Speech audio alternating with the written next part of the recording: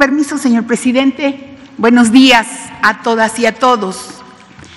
Ayer en Chilpancingo Guerrero se dio una manifestación originada por la detención de dos personas identificadas como líderes criminales que se detuvieron en posesión de cartuchos, cargadores y drogas y relacionados aparte con diversos delitos en la comisión de delitos en esta región. Los manifestantes se movilizaron para exigir la liberación de estas dos personas pertenecientes a una organización delictiva conocida como los Ardillos, señalada también por la comisión de diversos delitos del fuero común y federal. Los dirigentes detenidos son mostrados a continuación en, esta, en este árbol delincuencial que ya tiene muchos años operando en la región. Y aquí también aparecen dos eh, personas de las que estaban haciendo la movilización en la región y que el vocero principal está identificado aquí en la lámina y quien ha organizado este tipo de movilizaciones ya en otros tiempos y que también ya es investigado por parte de las autoridades eh, en esta ciudad. Adelante, por favor.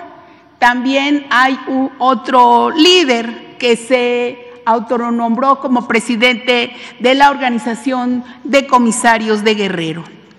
Aquí se ve como es dueño de una empresa constructora y cuenta con diversas causas penales y también pues son personas que son eh, afines a los este grupo criminal conocido como los ardillos.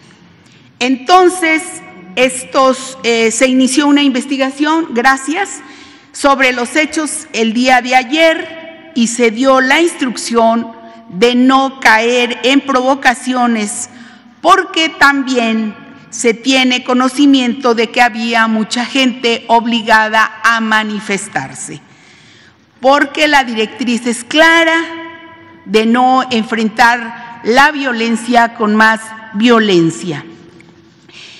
En la Mesa de Paz y Seguridad en Guerrero acordamos con el gobierno estatal encabezado por la gobernadora Evelyn Salgado que sostengan reuniones con las autoridades municipales y ejidales para buscar la liberación de los servidores públicos retenidos durante la manifestación del día de ayer. Durante todas las horas que se mantuvo la manifestación y tanto las autoridades federales como estatales se privilegió el diálogo y en todo momento, en todo momento se evitó la confrontación.